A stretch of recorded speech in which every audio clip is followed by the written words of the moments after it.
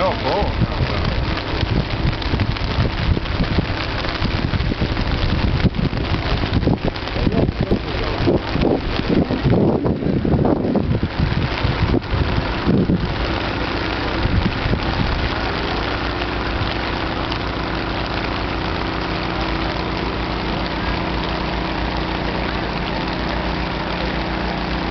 Ciao Phil.